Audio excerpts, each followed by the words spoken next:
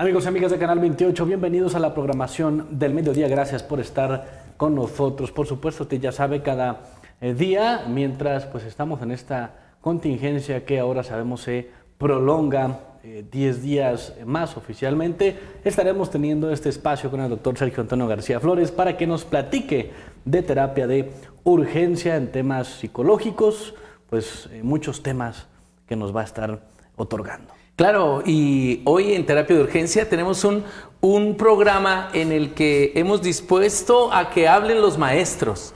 Porque al final de cuentas, esto también se relaciona mucho con el tema educativo, de qué manera impacta eh, a, todo este sistema que, por supuesto, eh, pretende ir desarrollando en el niño eh, en determinado momento diferentes eh, aprendizajes esperados, por supuesto. Y entonces hoy hemos invitado a un grupo de maestros para que compartan con nosotros algunas ideas relacionadas a qué fue lo que sucedió antes, qué está sucediendo ahora, cómo se están sintiendo, de qué manera se está resolviendo esta situación y hoy que se cambia la fecha también del regreso a clases, eh, qué impacto va a tener precisamente en los aprendizajes de los chicos. Eh, hoy entonces vienen maestros de diferentes niveles a compartir con nosotros algunas ideas relacionadas a esto y pues decirles que estamos encantados por, por, estar hoy aquí. Decirles a todas las personas que nos escuchan desde sus hogares, saludamos a las personas que están hoy en, en Estados Unidos, gracias por comunicarse con nosotros a través de las redes sociales. Recuerden que en el Facebook de Terapia de Urgencia pueden enviar sus comentarios, sus casos y nosotros estaremos muy atentos para ir brindando el apoyo o los consejos que sean pertinentes para las, la diferente situación que les esté ocurriendo. Decirte que nos han estado llamando personas que están hoy sufriendo ansiedad o crisis de pánico por esta situación de la contingencia. Eh, en estos últimos días han estado llamando varias personas y se han estado acercando con nosotros precisamente para, para provocar ayuda y que puedan salir más rápidamente de esa sensación, de esas emociones que los están atormentando. Y bueno, estamos a, su disposición en, la línea y en los canales que, tienen de comunicación con nosotros. Entonces, vamos a entrar con este tema, que hablen los maestros. ¿Cómo se sienten los maestros hoy ante esta contingencia? Tengo en la línea a mi querida maestra Rosy de la Cruz, que es maestra en español. ¿Estamos ahí?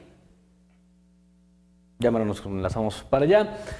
Me parece que ya la tenemos por ahí. Sí, gracias. Bueno. Bueno. Maestra Rosy de la Cruz, me da muchísimo gusto saludarte. Maestra de español de secundaria, estamos en lo cierto. Así es, doctor. Me da mucho gusto poder saludarlo por este medio.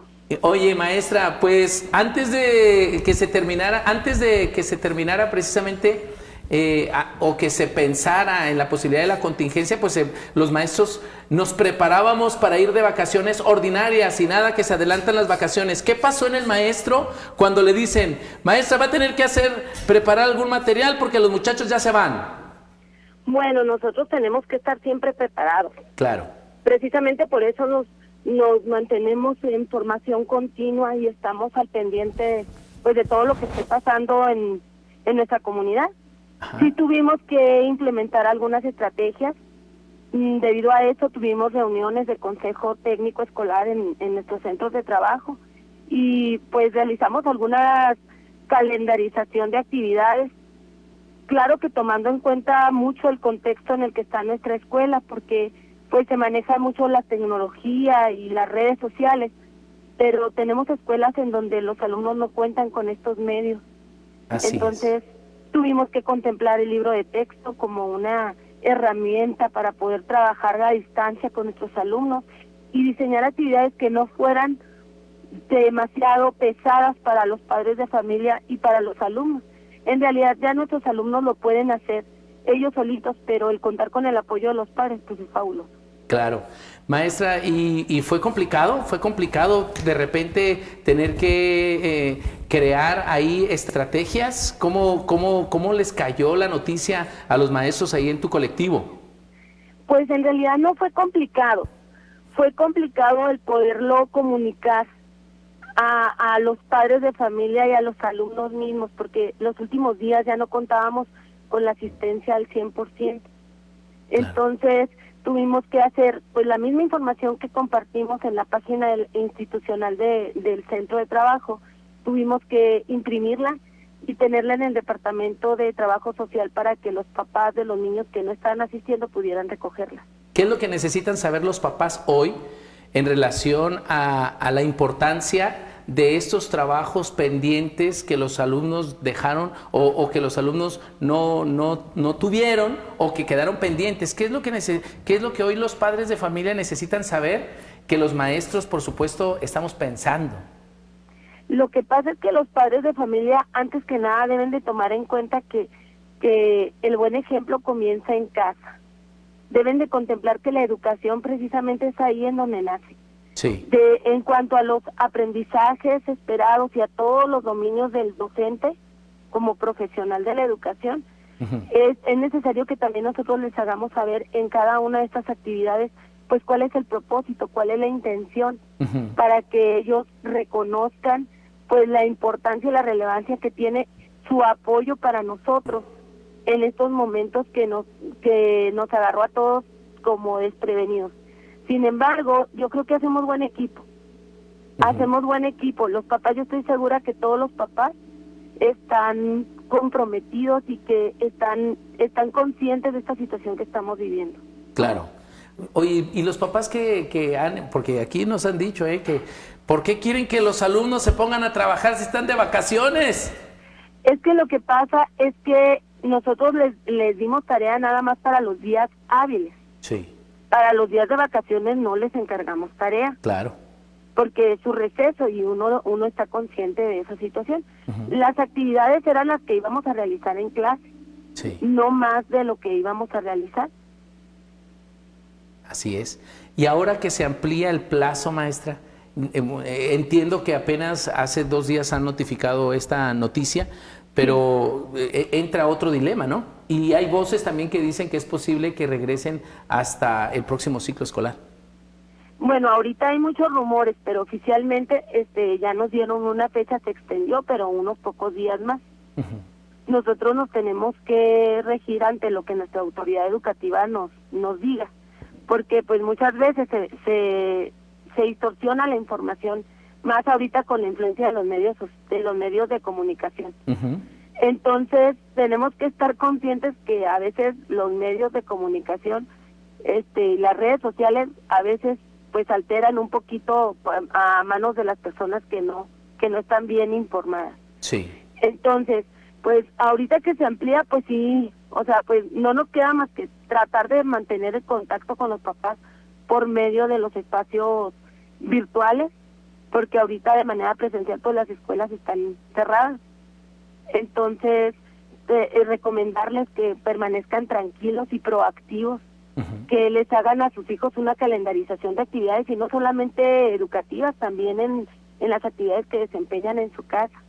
Que los permitan sentir sus emociones, quizá este sea el momento para que ellos convivan con sus hijos, que sepan qué es lo que están pensando qué es lo que quieren, qué es lo que necesitan, que verifiquen aquellos espacios en los que sus hijos están participando ahorita, tanto en sus celulares como en sus tablets, en sus computadoras, y que los hagan encontrar distracciones en familia, porque es una buena oportunidad también para recuperar aquello que gozábamos nosotros hace unos años. Claro. Y también vigilar su propio comportamiento, porque hay algunos padres que manifiestan tener ansiedad, angustia, desesperación, porque están acostumbrados a su ritmo de trabajo y vigilar que pues que nuestro propio comportamiento pues es un ejemplo de vida para nuestros hijos. Claro. Oye, tendríamos que preocuparnos los maestros para ahora que regresen los estudiantes y que vengan sin haber cumplido con estas tareas. ¿Qué, qué opinas? ¿Sí hay incertidumbre? ¿Crees que en, en, el nivel de secundaria se pueda dar ese fenómeno o crees que vamos a ser todos responsables con esto? Bueno, en realidad nosotros no somos responsables porque es una situación, una situación ajena a, lo que nosotros podemos dominar o que podemos manipular o manejar.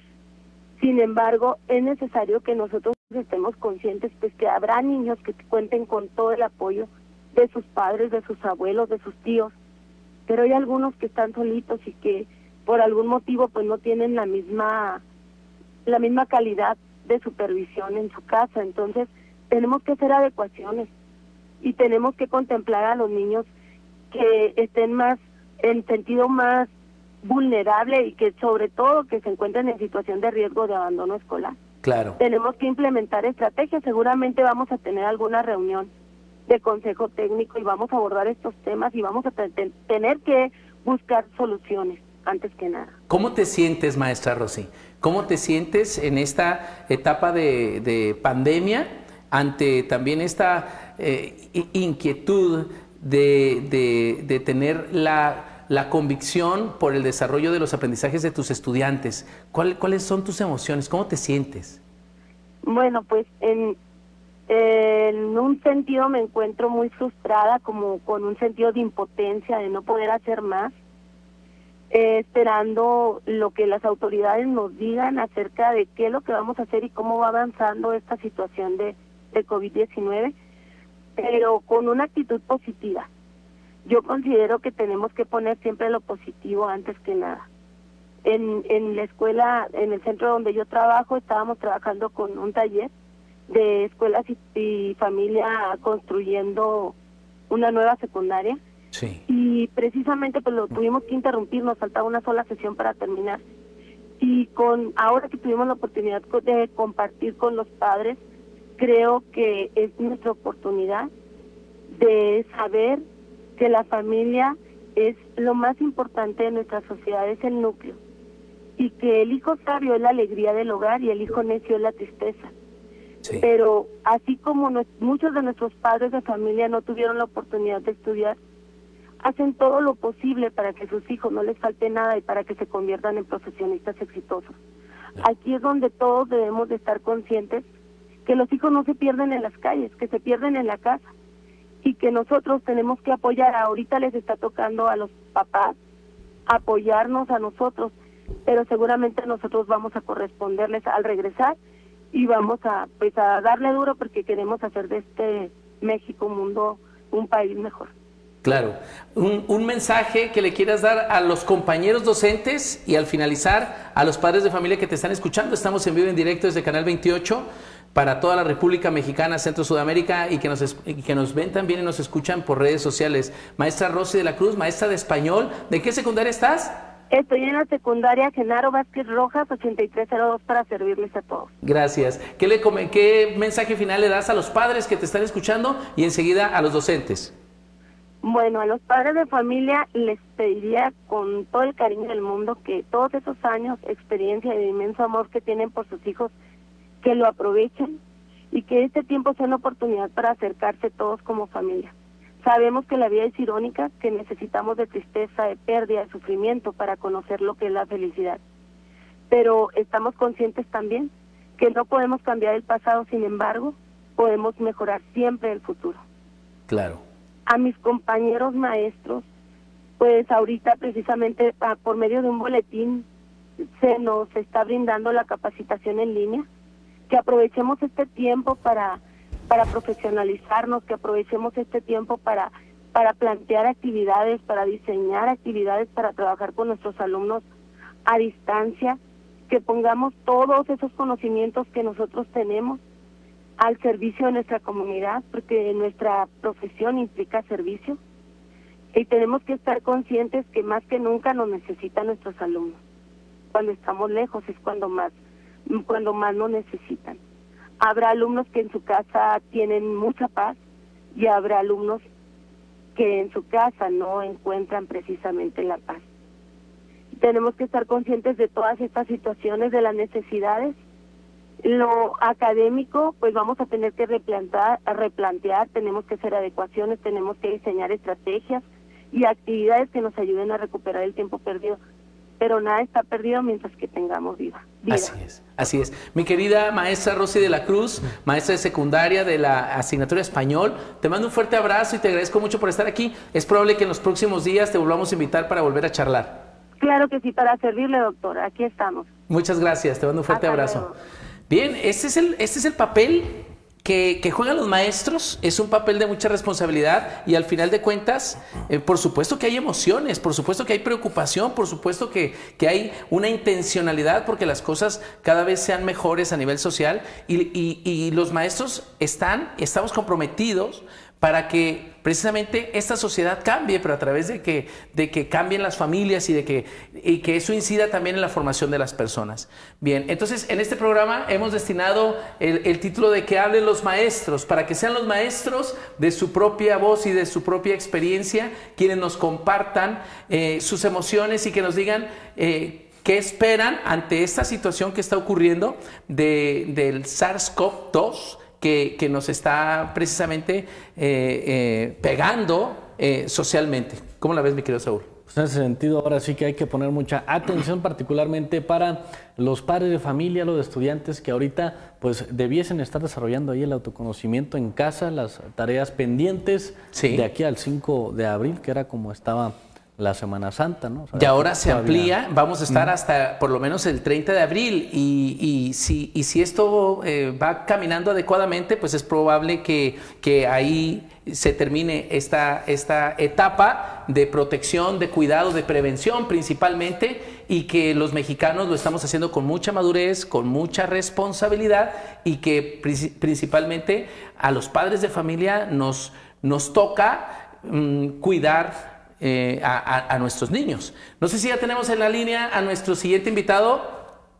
Bien, vamos a tener enseguida a dos invitados más que, son maestros también de diferentes áreas, de diferentes asignaturas, para ir conociendo cuáles son sus emociones, sus sensaciones en relación a esto. Decir que eh, se han estado comunicando también otros profesionistas de otras áreas que también eh, pues, tienen algo que decir. Y, de ellos eh, quiero compartirte que en, en, los próximos días vienen músicos también a compartir.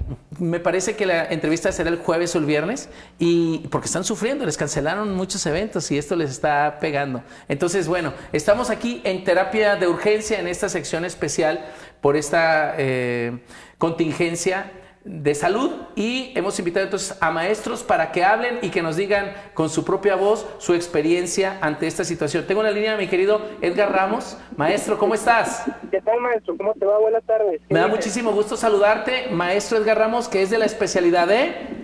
Biología. Biología en la secundaria. 3066. 3066. Oye, ¿cómo? ¿Cómo te cayó la noticia del coronavirus y, toda esta contingencia ante tu planeación, ante ese ejercicio profesional que haces con tus, con tus alumnos? Sabes que, fue un ejercicio que tuvimos que trabajar a marchas forzadas porque acuérdate que tuvimos el último consejo técnico donde se preveía que podía venir algo como eso. Afortunadamente los directivos de la escuela estuvieron previendo esa situación y estuvimos trabajando con planeaciones adelantadas porque coincidió que era cuando se tenían que subir también los resultados de, calificaciones de todos los alumnos. Exacto. Entonces, haz de cuenta que sí nos pegó, pero afortunadamente hemos tenido la habilidad en la escuela de estar sacando, pues, todas las actividades de manera virtual.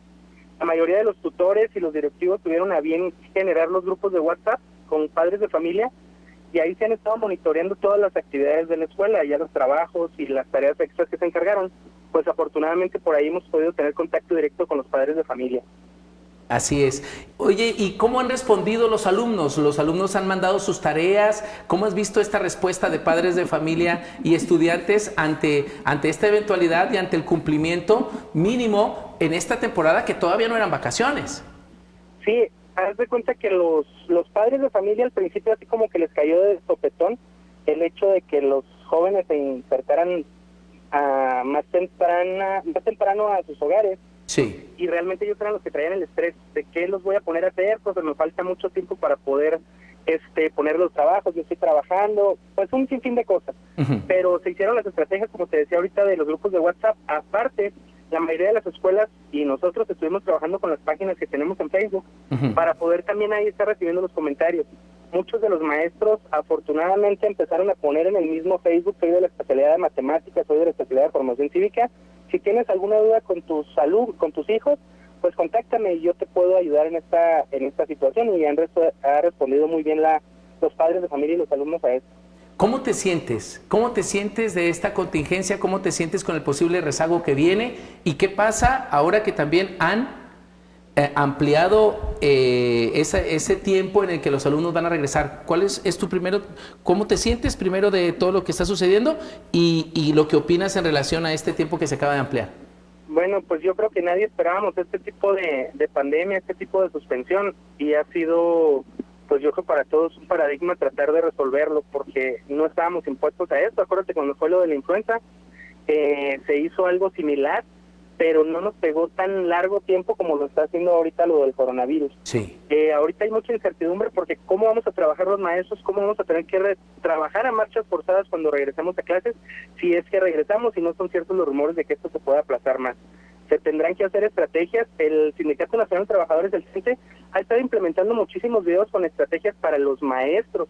No nos ha dejado, no nos ha abandonado desde ese punto y nosotros las estamos implementando, pero obviamente va a llegar el momento que tendremos que hacer una estrategia diferente porque no vamos a estar trabajando siempre de manera virtual porque se necesita la retroalimentación de manera directa. Entonces, esa situación es la que se está atendiendo por parte de los directivos y los inspectores que están trabajando en nuestra zona para poder sacar adelante a los alumnos. Aparte, el CENTE ha implementado también unas estrategias donde está sacando cursos y nos está recomendando algunos canales de televisión donde podemos tener clases para preescolar, primaria, secundaria e incluso a nivel medio superior. Todo eso yo creo que le abona un poquito para que nuestros alumnos y los padres también entren en un caos o en una psicosis colectiva de, de todo lo que está sucediendo también. ¿Tienes, ¿Tienes esperanza de que las cosas se van a componer, de que esto cada vez va a estar bien? ¿Cuál es el mensaje para los padres de familia que te escuchan? Pues que los maestros siempre hemos sido agentes de cambio en la sociedad y siempre hemos estado pendientes ante cualquier caos que, que ha llegado a la sociedad y, esta no va a ser la excepción. Que tengan por seguro que los maestros estamos trabajando en estrategias para que sus hijos no pierdan la atención de vida para poder seguir creciendo como adolescentes y como alumnos. Así es.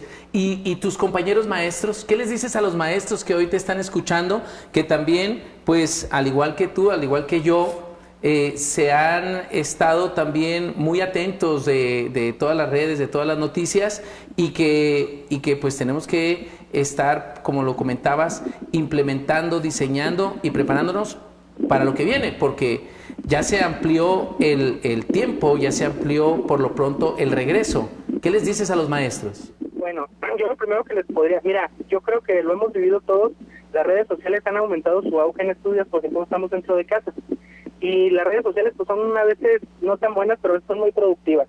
El CENTE Nacional ha emprendido una campaña masiva donde nos va a estar dando muchísimas herramientas para poder seguir trabajando con esto. También desde la página de CENTE Joven se están implementando muchas estrategias con links de YouTube o algunas otras páginas donde vienen un sin fin de tutoriales para que los padres de familia estén ahí. Ah. Los maestros, yo creo, tenemos que tener la certeza de que pues nuestras organizaciones, especialmente el CENTE, no nos va a dejar solos en esta en esta tarea porque desde 1943 el lema es por la educación al servicio del pueblo y bueno, pues en aquel tiempo aplicaba y yo creo que hoy aplica mucho mejor, pero con las diversas estrategias y las diversas tecnologías que hoy nos, nos rodean para podernos hacer llegar la información. Claro. Muy bien, para concluir, mi querido Edgar Ramos, maestro de, la asignatura de biología de secundaria estatal, en, el momento en el que se da esta contingencia estamos cerrando el bloque 2, falta se supone un bloque de aproximadamente, se suponía que era entre dos, dos meses y medio, casi tres meses, que ahora se ha reducido a dos meses. ¿Cuál es la tarea que tenemos entonces ahora los maestros ante esta situación? Ya para concluir con esta conversación. Bueno, pues yo creo que la tarea que vamos a tener todos los maestros en este periodo va a ser hacer una superadecuación a nuestras planeaciones y tener que estar muy abiertos a que esto puede reducirse a un mes, un mes y medio que podamos estar con los alumnos, o a lo mejor más, o a lo mejor menos, pero que tenemos que tener la apertura de, de echar a jalar todas las habilidades y cualidades que tenemos para sacar adelante a los, a los jóvenes. No es fácil, existirán alrededor de nosotros muchas estrategias, muchas, muchos medios de información, pero nosotros tendremos que estar atentos a las indicaciones que nos dé la Secretaría de Educación para poder sacar adelante en conjunto, porque no es una responsabilidad exclusiva de los maestros que estamos en la escuela, y esperemos que vengan a aquellas reuniones donde salgan las cuestiones productivas para que nos vengan a beneficiar tanto a padres de familia, alumnos y maestros de las instituciones. Mi querido Edgar Ramos, te mando un fuerte abrazo, ha sido un gusto saludarte y te vamos a seguir molestando. El gusto es mío y para servirte, amigo. Que estés muy bien, ¿eh? excelente día. Muchas gracias. Hemos hablado con mi querido Edgar, que es maestro de secundaria de la asignatura de biología.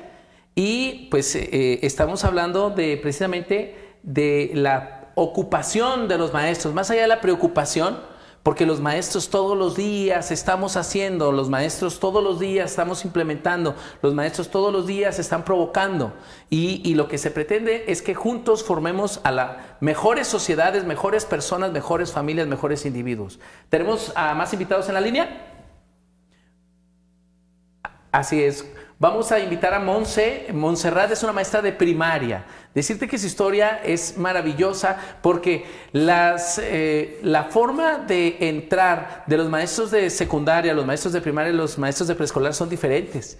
Las preocupaciones que, les aquejan son diferentes. Las comunicaciones que se manejan entre maestros de, preescolar, maestra de preescolar y padres de familia es diferente que la de la maestra de primaria y los maestros y los padres de familia de primaria y de los maestros de secundaria y los padres de familia de secundaria. Conforme van creciendo los niños, se va ampliando una brecha de comunicación y entra, pues no sé si una especie de madurez en los padres de familia en la que se van despegando precisamente tanto del niño como del, del propio centro escolar. Y entonces nos encontramos con que en preescolar los padres de familia asisten todos a todas las reuniones, incluso papá y mamá nos encontramos con que en la primaria se va abriendo la brecha y ya solo asisten mamás y solo del, del 100% de estudiantes asiste como un 90% de los padres de familia a las reuniones, a veces el 95%. Pero ya luego se van a secundaria y los padres de familia empiezan a participar menos. Y en esa participación nos encontramos en secundaria con, con grupos de entre el 50 y el 60% de asistencia en las reuniones escolares. Entonces es una brecha grande. Pero ¿qué ocurre en bachilleres? Otra vez se vuelve a cerrar y todos los padres, eh, por ejemplo, en el sistema colegio de bachilleres, todos los padres están en todas las reuniones. Pero tiene que ver también con, con esta ya importancia de, del nuevo nivel al que se van a enfrentar los estudiantes y que se ha estudiado que eso es lo que, lo que obedece. Pero en secundaria hay una brecha muy grande de, de inatención o, de desatención entre padre de familia y el centro escolar. ¿Tenemos en la línea mi querida Monse? Sí, buenas tardes, doctor. ¿Cómo está? Mi querida Montserrat, te mando un fuerte abrazo. Gracias por estar aquí. Hoy te saludamos. Maestra Monse, tú, tú estás hoy en un centro escolar de primaria. Bueno, he trabajado en todos los niveles. Trabajé por 10 años en nivel primaria, pero actualmente me encuentro trabajando en el nivel de secundaria. ¡Ay! en la secundaria federal número 13 en la especialidad de español. Maestra Montserrat Domínguez Payán, te mando un fuerte abrazo. ¿Estuviste cuántos años en primaria? Sí, estuve 10 diez, años en primaria, fui fundadora de la primaria de, aquí de la el fraccionamiento Villa del Rey que se llama la primaria este la este Concepción Corral en la primaria. Pero ahorita actualmente me encuentro en secundaria, pero he trabajado en bachilleres y he trabajado en la UAS. Oye, ¿cuál es la diferencia entre los padres de familia de, una primaria y los padres de familia de una secundaria? Con honestidad. No, no, pues sí, es, es mucha la diferencia. La diferencia, aquí en, primaria tenemos a los padres de familia y encima son, uno como maestra es más maternal, es más cuidadosa, este, los padres de familia están muy, muy al pendiente y en secundaria, pues es otro otro nivel, los papás ya no los dejan un poquito más sueltos, este las maneras de comunicación ya son diferentes a, a un nivel primaria. Y pues qué te puedo decir en el bachiller es diferente. Ahí ya, ya, ya encontramos plataformas educativas en las cuales podemos comunicar directamente con nuestros alumnos al igual que en el nivel superior Oye, ¿cómo ha caído eh, ahí en ese, en ese entorno donde te desenvuelves este tema de la pandemia y, la responsabilidad del docente? ¿Cómo te ha caído? ¿Cómo te fue con, estas, con esta situación de contingencia? ¿Cómo ha sido tu preparación y tu preocupación ante el desafío del, aprendizaje de tus estudiantes? Claro que sí, mira, empezaron los rumores del, del COVID-19 a partir de, del mes de marzo, cuando estábamos concluyendo segundo trimestre yo estaba viendo el contenido de la noticia y esto me sirvió muchísimo, ya que hay que contextualizar nuestros temas y mis alumnos empezaron a investigar sobre qué era el COVID-19, qué estaba sucediendo alrededor del mundo. Este, iban y les ponían en clase, se comentó de dos alumnos chihuahuenses que estaban en China y que se les que se les dificultaba volver a, a Chihuahua y que estaban pidiendo ayuda a nuestro gobernador. Entonces, todo esto lo contextualizamos, los alumnos lo viven y ya tenían conocimiento de esto. Pero luego surge que el 16 de marzo hay un comunicado por parte de, de la maestra Rosa María Hernández, nuestra secretaria general de la sección octava, donde ya nos habla que para, que para salvaguardar la salud de nuestros alumnos va a haber una suspensión escolar. Entonces, inmediatamente en los próximos días se diseñaron estrategias e indicaciones para informar, para informar a nuestros alumnos y a los padres de familia sobre las actividades que ellos iban a desarrollar de manera extraescolar. Entonces, y en coordinación con nuestro supervisor de zona, el profesor Ramón Álvarez, nuestra asesora técnica pedagógica, la maestra Olga Martela Acevedo, y el profesor Efraín, que es nuestro jefe de, enseñanza, se diseñaron estas estrategias para trabajar de manera extraescolar. Quiero decirte que ya con, con la nueva reforma educativa, la nueva escuela mexicana, ya estábamos trabajando con las metodologías, metodologías activas. ¿Y en qué consisten estas metodologías? Consiste en que los alumnos desarrollen sus competencias en elaborar investigación, en hacer análisis de la información, en crear nuevos contextos a través de esquemas, de, de mapas conceptuales. Entonces eso ya lo tenía, ya lo estábamos trabajando. Yo quiero decirle a los padres de familia que no se preocupen, los alumnos ya tienen las herramientas, ya tienen las competencias, falta la supervisión. ¿Cómo los estamos supervisando? Bueno, pues como bien lo dijo ahorita el profesor anterior, a través de las redes sociales, la comunicación es a través de directamente de WhatsApp. Los padres de familia y los alumnos se pueden comunicar con nosotros a través de WhatsApp. Este otros maestros pues tienen Instagram, a través del Instagram, a través de Messenger, inclusive a través de llamadas. Ahorita los padres de familia no están solos, estamos para apoyarlos. Así es. Y, y hay, eh, hay pretexto, es decir, los padres de familia hoy, hoy dicen, por ejemplo, pero si están de vacaciones, ¿por qué los hijos tendrían que hacer todas estas tareas? No, pues es que como lo dijo la maestra Rosy, es que parece que estamos en sintonía. Las actividades que se diseñaron en ese momento fueron para dos semanas, que eran las que nos faltaban para este concluir antes de salir de vacaciones. Este tema es el primer tema del, del trimestre 3, sí. porque las evaluaciones justo ya las habíamos terminado. Entonces el primer tema del primer, del primer trimestre que dura alrededor las actividades entre dos semanas y tres, pues nosotros nos organizamos para que ellos trabajaran en esas dos semanas. ¿Y, cómo, lo vamos a evaluar? Pues a través de estos medios, inclusive ya estamos recibiendo trabajos de los niños, ya los estamos evaluando. Inclusive ayer recibí una llamada de una madre de familia que me dice, maestra, Sofía ya terminó las actividades que le, que le mandó, ya las evaluó, ¿qué más? señora, acuérdese que va a haber un receso vacacional de dos semanas dependiendo de las próximas indicaciones que se den, porque se va a ampliar hasta el 30 de abril, pues habrá más actividades. ¿Por qué medio? Pues a través de los medios que los niños ya conocen. Inclusive en la secundaria federal número 13 tenemos una página oficial donde hay comunicación directa tanto con padres de familias y alumnos. Así es. ¿Y qué recomendaciones les das a los padres de familia que te están escuchando ahorita en este momento por este medio?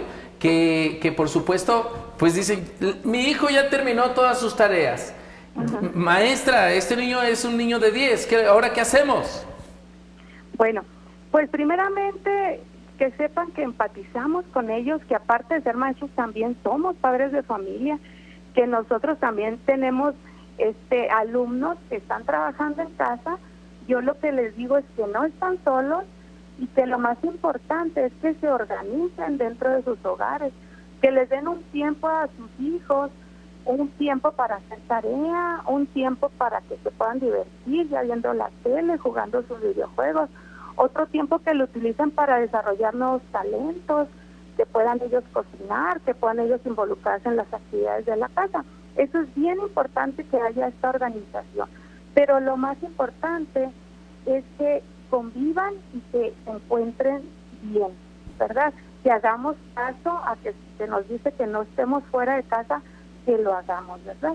Y que aprovechemos este tiempo para convivir con nuestros hijos y que haya ese enlace, que los conozcamos a lo mejor más de cerca, que por las actividades que tenemos de trabajo y por las actividades académicas que ellos tienen, hay poco tiempo, pues ahorita es el momento el momento de que se haya esa unión familiar, esa comunicación. Maestra Monse, ¿cuál es la importancia de que los hijos lean? de que puedan aprender a través precisamente de los libros, de la escritura. ¿Por qué es importante? ¿Te ha tocado eh, eh, estudiantes que llegan a la secundaria y que traen un nivel de lectura demasiado bajo? Claro que sí. Este, bueno, nos llegan estudiantes de todo, ¿verdad? Niños que sí leen. Cuando yo pregunto, ¿ya leyeron el libro La Vuelta al Mundo, Don Quijote? De 50 que tengo en un grupo, pues 3, 4 ya, ya lo leyeron y eso es bueno ¿Cuál es la consecuencia de, tener un alumno que lee? En la escuela tenemos el proyecto de lectura desde hace ocho años, donde los niños leen mínimo seis libros en el ciclo escolar. Estamos haciendo personas con pensamiento crítico. Una persona que lee es crítica, se le amplía su vocabulario, mejora su redacción, tiene más tema de conversación que una persona que no lee. Entonces, esto es un proceso, empezamos cada ciclo escolar, empezamos con los que no tienen el hábito de lectura, pero poco a poco, a través de la motivación, de diseñar el, el chocolate literario, de, empezar a trabajar con estrategias diferentes, ellos se van involucrando. Finalmente, también involucramos a los papás porque tenemos, tenemos una clausura del proyecto de lectura donde los padres de familia están en, ese, en esa clausura y pueden convivir con sus hijos y con otros alumnos que ya son lectores y ellos comentan cada uno su experiencia al leer tal cantidad de libros. Claro, entonces es muy importante que los padres pongan a practicar a sus hijos en este tema de la lectura y por supuesto que los supervisen, que compartan, que puedan integrarse con ellos en estas prácticas. Claro que sí. Ahorita, pues ahorita tenemos muchas facilidades por parte eh, de las redes sociales, de Facebook. Me he encontrado muchos links donde, donde hay libros de texto gratuito. Inclusive ayer me encontré un link de que era de, ecología, que una una este, lotería ecológica. Wow, entonces estamos topándonos con mucha ayuda externa que nos va a ayudar para que nuestros nuestros hijos y en este caso los alumnos estén trabajando en casa. Claro, mira, te están mandando saludar personas que nos escuchan en Casas Grandes, la gente que está ahora en Parral, gente de Puebla, muchas gracias a la gente que está en la ciudad de Monterrey. Y tengo varios mensajes, dice, yo considero que el tiempo que los padres tienen a sus hijos se integren, pero no solo en el ámbito de darles las herramientas, sino investigar cuál es su herramienta perfecta, porque entonces los padres de familia van a llegar a conocer bien los perfiles diferentes de sus hijos. Gracias a las personas que se comunican con nosotros. Mi querida Monse, un mensaje final para saludar a los padres de familia que te escuchan y a los maestros que también hoy pues estamos preocupados y ocupados de, de esta contingencia y que responsablemente estamos respondiendo ante esta eventualidad.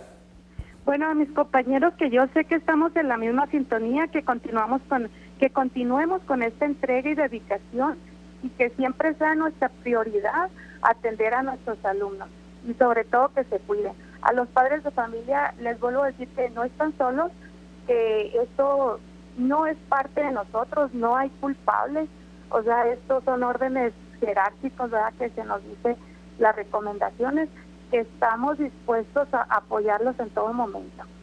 Y pues a ti también cuídate, ya no salgas tanto porque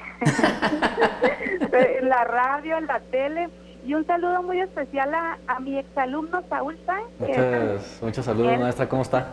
Ah, muy bien. ¿A poco fue tu maestra, la maestra Monse? dije, voy a esperar que... No es cierto. sí, pues sí, este, sí, sí, ya está muy grande, Monse. Pues ¿cuántos años tienes? no, pero soy, soy, todavía muy joven. ¿En serio fue tu alumno este hombre? Veinteañero, gracias a Dios. Y me da muchísimo gusto ver el éxito que tienen pues cada uno de mis alumnos, pero en este caso Saúl que está en la televisión, lo felicito y me siento muy orgullosa de haber sido su maestro. ¿Cómo era tu maestra Monse? pues contribuyó con todo esto que hemos venido haciendo a lo largo de algunos años, ¿verdad maestra? Ay, gracias. Un poco de activismo por ahí que realizamos y por supuesto ahí dejó sin lugar a duda alguna base que pues nos ha servido para servir a los demás. Muchas gracias. ¿Te ponía a leer la maestra Monse? Bastante. Nos dejaba ahí unas buenas tareitas en la secundaria. Muchos saludos, maestra. Que tenga un excelente día y, por supuesto, pues al rato la estaremos aquí comunicando con el doctor Sergio Antonio García Flores para que nos pueda compartir el panorama en los próximos días.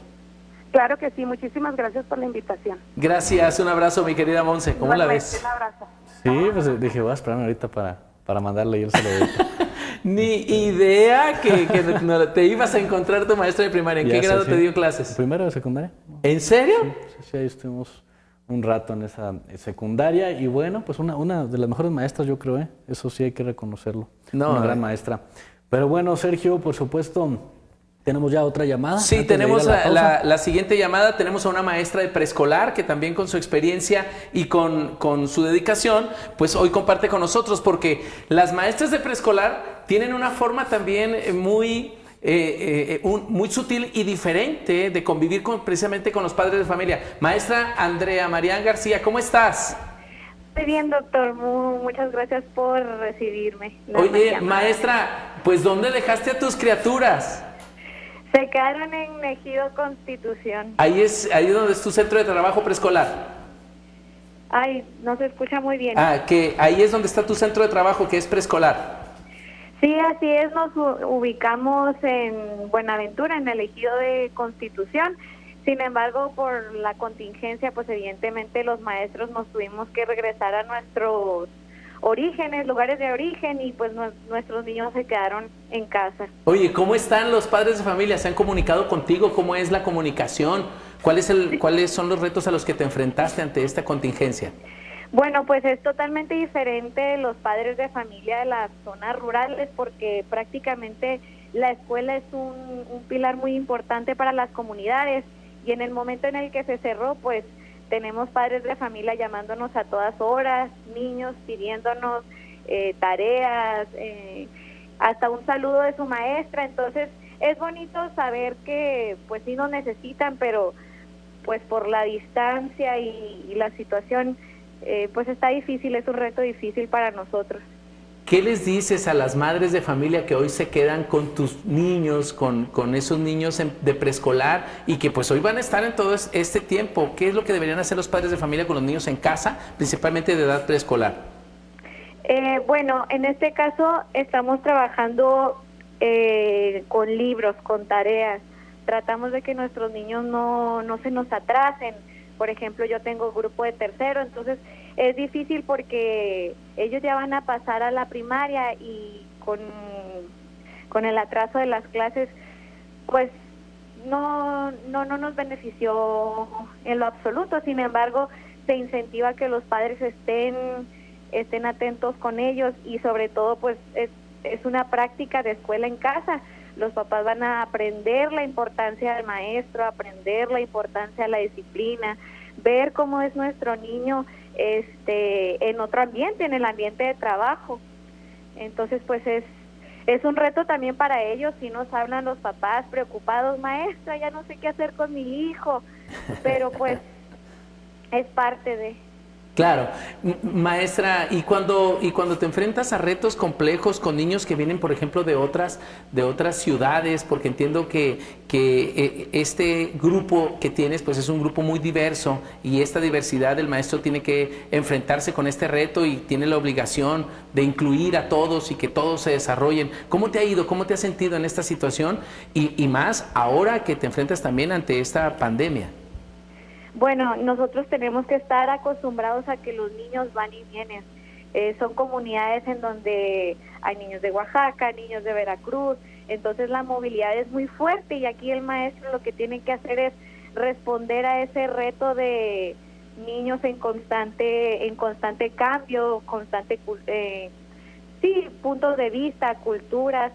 Entonces, sobre todo la pandemia nos ha ayudado con respecto a los padres a valorar el, el ¿cómo, perdón?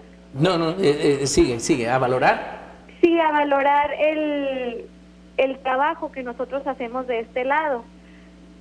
Claro. Entonces, pues sí, vamos trabajando con eso y esperemos que aun y cuando se vayan a aplazar los días de clases, pues tratemos de que, de que no sea más perjudicado para, para nosotros y para ellos sobre todo. Claro. Maestra Andrea María García de, de, Educación Preescolar, vamos a ir a una pausa y ahorita al regreso te pediría que ojalá que pudieras permanecer para que nos platicaras una anécdota de uno de tus niños más queridos, de esos niños que, que se quedan en el corazón. Vamos a ir a un corte, eh, mi querido Saúl. Sí, por supuesto. Sería mejor posponerlo, platicar mañana a detalle sobre este tema, la experiencia con los niños y cómo se estará viendo en preescolar esta situación.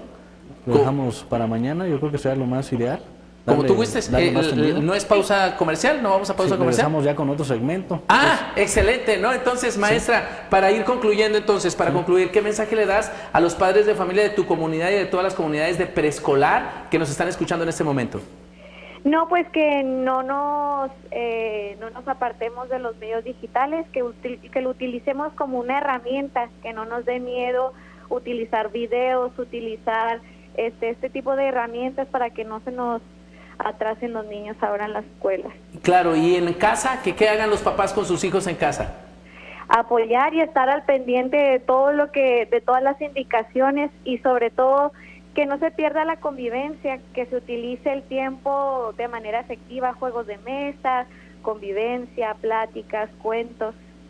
Muy bien. Muchas, muchas gracias, querida maestra Andrea María García, maestra de educación preescolar. Te mandamos un fuerte abrazo y luego te seguimos invitando para que nos participes de las experiencias de preescolar. Saludos, muchas gracias. Gracias. Sergio, pues ya nos veremos mañana en más información.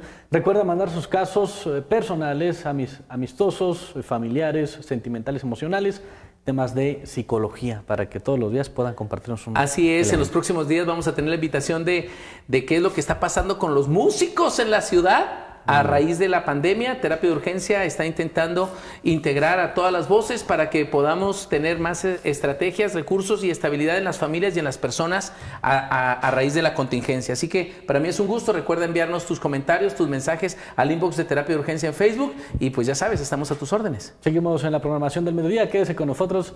La pausa.